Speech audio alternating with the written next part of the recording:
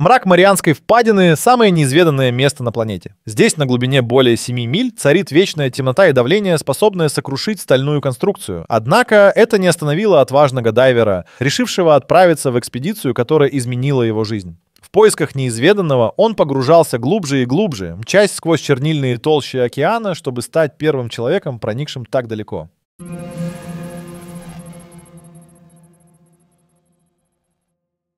И вот среди безмолвной пучины его осветительный прибор зацепил что-то необычное, нечто, чего здесь быть не могло. Это было не природное образование, а рукотворная структура, замаскированная под морское дно. По мере приближения его сердце начинало биться все быстрее. Контуры напоминали вход в пещеру, зияющую тайной. Настойчивое любопытство и воля к открытиям вели его вперед. Когда дайвер вошел внутрь, он увидел невероятное. Великанский кристалл, излучающий неземное сияние, заполняющее пространство вокруг. Даже в абсолютной тьме он излучал мощь, способную осветить самые темные уголки. Кристалл источал нечто большее, чем просто свет. Это была энергия, которую невозможно было объяснить. Перед ним раскрывался секрет, способный перевернуть все представления о нашем мире. Но это было только начало. Ведь кто знает, какие тайны скрывает этот кристалл и почему он оказался здесь, в самой глубокой точке Земли. То, что начиналось как рутинное погружение, обернулось открытием, от которого нельзя было просто так отмахнуться. Но что же предстояло ему узнать в глубинах этой загадочной впадины?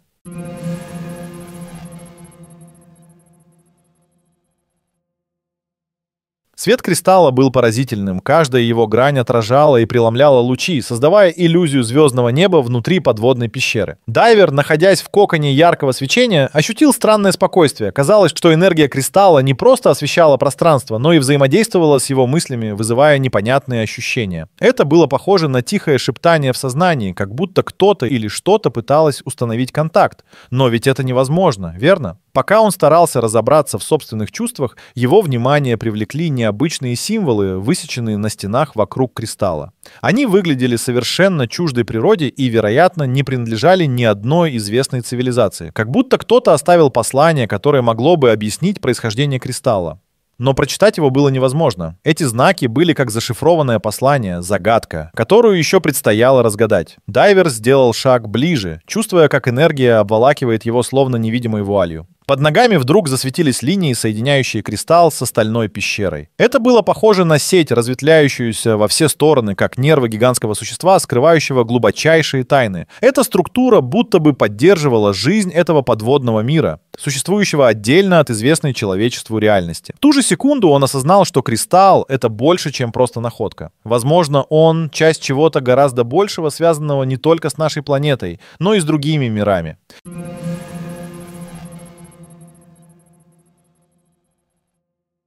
Исследуя окружающие стены пещеры, дайвер заметил, что некоторые из символов начали светиться в такт с его движениями. Возможно, это было связано с энергией кристалла, который каким-то образом активировал эти таинственные знаки. Это открытие подстегнуло его воображение. Возможно, эти символы являлись не просто украшением, а ключом к пониманию тайны, спрятанной здесь. Обнаружив небольшую щель в стене, он осторожно протянул руку, чтобы ощутить прохладную поверхность. Его пальцы нащупали углубления, напоминающие древние письмена. Что если эти знаки являлись древним языком, сохранившим послание из давно забытого мира? Тем временем кристалл продолжал излучать мощь, которая, казалось, проникала в самую глубину его существа, пробуждая воспоминания и образы, которых он никогда не знал. Эти фрагменты, как кусочки мозаики, начинали складываться в общую картину, подсказывая, что кристалл мог хранить в себе историю, о которой человечество даже не подозревало. Возможно, этот таинственный артефакт разблокировал доступ к знаниям, что предшествовали всем современным культурам и цивилизациям. Вдруг он заметил необычные изменения в самой атмосфере пещеры.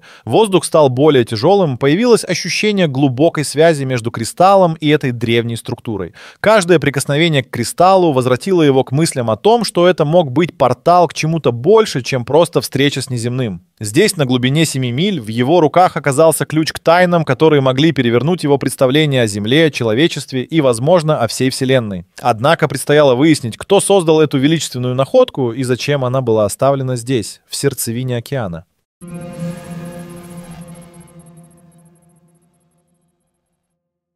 Когда дайвер осознал, что этот кристалл тесно связан с энергетической сетью, его изумление перешло в осторожное исследование. Он обнаружил, что кристалл меняется в зависимости от его движений, словно реагируя на его присутствие. Каждое его прикосновение вызывало вспышки света и дрожь, распространяющуюся по стенам пещеры. Он заметил концентрирующуюся энергию, которая, казалось, укрепляла структуру сооружения, поддерживая его жизнеспособность в суровых условиях впадины. Эта находка лишь добавила вопросов. Что за сила заложена в этом кристалле и какие последствия может повлечь за собой ее пробуждение? Дайвер понимал, что это открытие могло изменить саму суть нашего существования. Если энергия кристалла действительно могла влиять на структуры в его окружении, то на что еще она способна? Возможно, эта находка не просто ключ к знаниям прошлого, но и источник невероятной силы, которая может быть использована в нашем настоящем. Продолжая исследовать пещеру, он заметил, что некоторые из светящихся линий стали исчезать, оставляя за собой следы тепла. Это не просто феномен, а процесс, который мог означать изменение всей структуры вокруг него. Он начал записывать свои наблюдения, понимая, что это может быть единственным шансом зафиксировать все детали этого загадочного места. Но как только он осознал значимость данных, напряжение лишь усилилось. Кристалл продолжал отдавать мощные энергетические импульсы, которые могли быть как даром, так и угрозой. За пределами этих стен таилась неизвестность, и дайвер понимал, что ответственность за это открытие легла на его плечи. Именно он должен был решить, как использовать знания и энергию, которые кристалл открыл ему. Но пока он находился в этой пещере, окружающий его мир казался далеким, словно отдаленным отражением его сознания, затерянным в глубочайших водах. Секрет, разгаданный в этом месте, мог изменить ход истории, но оставалось выяснить, как его правильно использовать во благо человечества.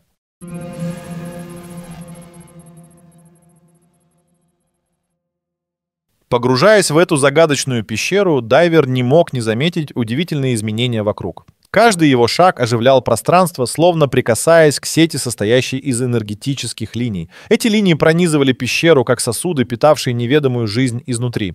Он осторожно следил за ними, пытаясь понять, как они связаны с кристаллом. Путешествие вглубь пещеры приводило к новым открытиям. Под слоем таинственного света скрывались двери, как будто ведущие в другие части скрытого мира. Некоторые из дверей были опечатаны, покрыты слоем векового ила. Казалось, что они хранят тайну, давно забытую временем. Дайвер заметил, что стены рядом с этими дверями украшены барельефами, изображающими невероятные сцены из жизни неизвестной цивилизации. Возможно, эти образы были ключом к пониманию того, кто создал эту подводную структуру и каков был смысл их послания. Пока он изучал эти древние картины, его внимание привлек необычный звук. Это было похоже на едва уловимый низкий гул, исходящий из глубин пещеры. Он заинтригованно пошел на звук и вскоре обнаружил его источник. Массивные ворота, закрытые, но дрожащие от внутренней энергии. Каждая попытка приблизиться вызывала резонанс, словно кристалл отзывался на его присутствие, стараясь привлечь его внимание к этой части пещеры. Перед ним открывалась возможность разгадать еще одну тайну этого подводного мира. Однако вопросы не давали покоя. Что скрывается за этими вратами? Дайвер догадывался, что находка может быть только началом невероятного путешествия. Его открытие в Марианской впадине обнажило лишь часть айсберга, который ожидал своей очереди раскрыться. Он понимал, что каждая новая находка приближает его к разгадке загадки, но при этом наводит на мысль о том, что не все так просто и безопасно, как казалось изначально.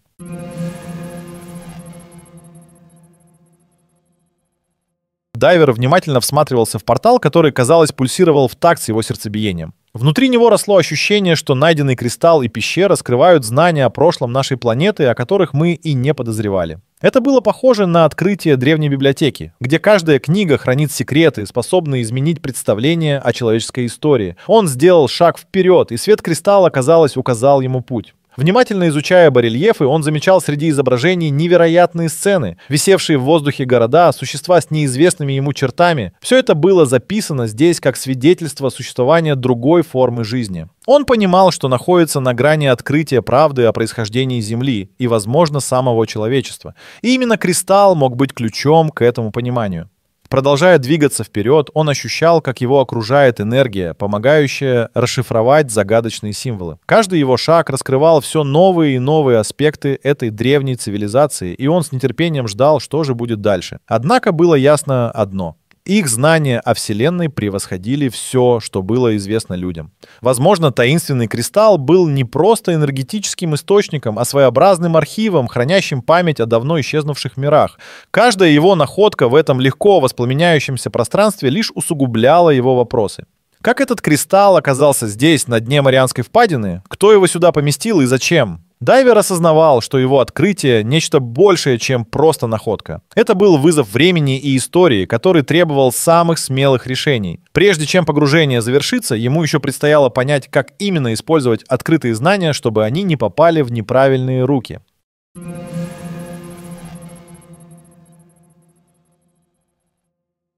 Гуще потока мыслей дайвер не мог отвлечься от ощущения, что его находка была связующим звеном с давно исчезнувшими цивилизациями. Его сознание, наэлектризованное энергией кристалла, заполняли образы, напоминающие флешбеки, словно он просматривал архивы о прошлом планеты. Он видел картины мира, в котором люди жили бок о бок с существами, обладающими технологиями, превосходящими наши. Эти существа, по всей видимости, и были создателями кристалла, используя его в качестве хранилища знаний и силы. Каждый его шаг давал новую силу пещере. Кристалл, как портал, открывал перед ним сцены из прошлого, расположенные в порядке временной хронологии. Он видел образы постройки гигантских сооружений, взаимодействия с энергиями Вселенной и невероятные открытия, которые могли изменить современную науку. Однако, что удивляло больше всего, это ощущение, что люди и эти загадочные существа, по сути, были связаны. Возможно, именно благодаря таким артефактам человечество получило свой первый толчок к развитию, но потом память о них была утрачена. Вскоре он заметил маленькую нишу в стене пещеры, скрытую под илом. Из нее тянулись светящиеся нити, служащие своеобразным микроскопическим маршрутом, ведущим в глубину. Казалось, что они указывали на местоположение чего-то более важного, чем сам кристалл. Дайвер, ведомый жаждой открытий, осторожно последовал за этой сетью. Ему удалось найти небольшую камеру, скрытую от посторонних глаз. Она была наполнена артефактами, среди которых, возможно, находился ключ к разгадке тайны.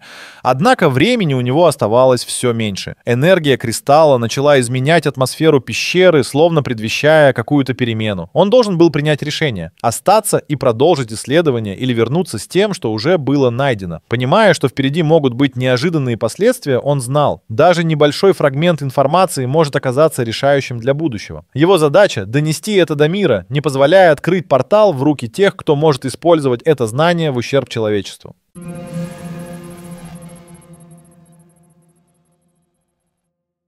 Весь мир затаил дыхание, когда известие о кристалле Марианской впадины достигло заголовков. Эта находка обещала перевернуть научные представления, но также привела к опасной гонке за властью. Дайвер, поступивший мудро, решил, что его главный долг — защитить эту находку от дурных намерений. Однако задача была не из легких. Как только информация о кристалле распространилась, подводная пещера стала объектом пристального внимания. Экспедиции и спецслужбы начали разрабатывать стратегии по его захвату. По мере того, как давление усиливалось, дайвер собрал небольшую команду ученых, чтобы изучить кристалл, не допуская его попадания в руки тех, кто может использовать его во зло. Они разработали план по безопасной транспортировке кристалла в секретное место на суше, где его можно будет исследовать без угрозы взрыва или других катастрофических последствий. Вакцина от глобальной катастрофы могла быть найдена только благодаря наблюдениям и анализу. Научные открытия, которые Кристалл мог предоставить, обещали прорывы в таких областях, как энергетика, здоровье и даже способы межзвездных путешествий. Однако Кристалл также представлял опасность, ведь его мощь могла быть использована в военных целях. Команда сосредоточилась на том, чтобы понять механизм действия Кристалла и его потенциальное влияние на планету. Исследования шли полным ходом, и первые результаты показали, что энергия Кристалла действительно может быть использована использована для беспрецедентного прогресса. На этом фоне международное сообщество начало переговоры о судьбе загадочного артефакта. Мировые лидеры обсуждали создание транснационального комитета для надзора за его изучением и использовали находку как повод для укрепления мирных отношений. Дайвер, оставивший свою находку, знал, его открытие стало началом новой эры для человечества. Теперь надежда на то, что кристалл будет использован для всеобщего блага, зародилась в сердцах миллионов. Но сможет ли человечество удержать эту мощь под контролем или она станет катализатором изменений, еще предстояло узнать.